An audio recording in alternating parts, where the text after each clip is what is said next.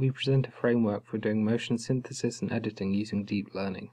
Deep learning has seen great success in tasks such as image classification and speech recognition, but it's only recently that researchers are finding ways to use it for synthesis.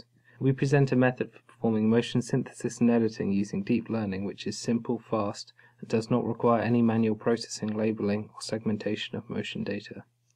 We start by building a motion manifold using a convolutional autoencoder trained on 20 hours of raw motion data. Then, given parameterizations such as the trajectory of the character, we can train a deep neural network that maps to the top of the autoencoder and output motion which corresponds to these inputs. As the input trajectory does not fully specify the motion, doing a naive regression results in the potential outputs being averaged, causing the character to appear to float. We therefore train a small neural network to disambiguate the input trajectory using the foot contact information.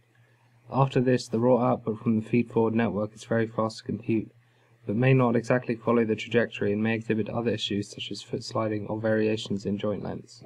Post-processing using inverse kinematics can fix some of these issues, but doesn't enforce any temporal continuity or realistic posing, and so may produce jittery motion or joint popping.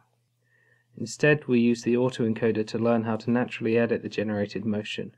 We formulate the editing task as an optimization problem over the space of the autoencoder's hidden units. Editing the motion in the hidden unit space ensures the edited motion is natural as it is adjusted along the manifold of valid motion.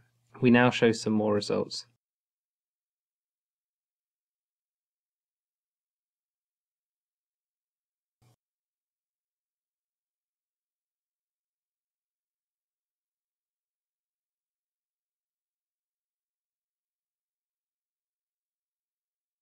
By making the character face sideways, we can naturally produce sidestepping motion.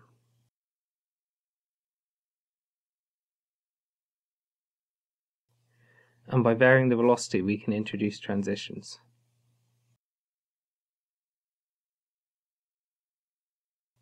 We can also use different parameterizations. Here the user specifies the movement of the hands or of the feet, and our system generates appropriate punching and kicking motions.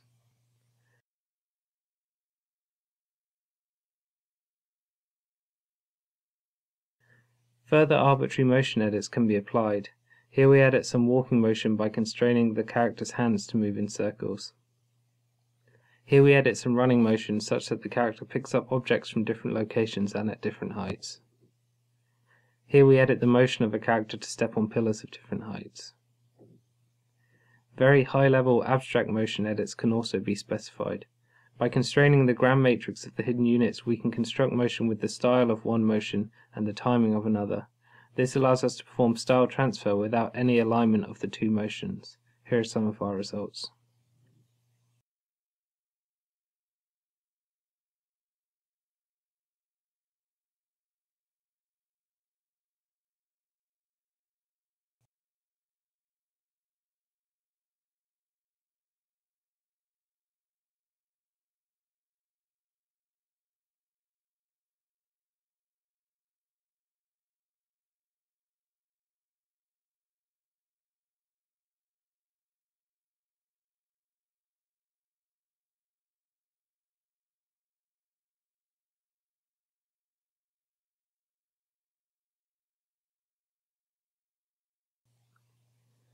Our method can run on the GPU in parallel across the timeline. This makes it very fast and therefore perfect for crowd animation. Here we generate 10 seconds of motion for a crowd of 200 characters. This takes 1.8 seconds with motion edits applied and 2.2 seconds, for a total speed of 30,000 frames per second. In conclusion, we present an end-to-end -end framework for motion synthesis and editing which is fast, powerful, parallel, and unlike existing techniques requires no manual processing of data.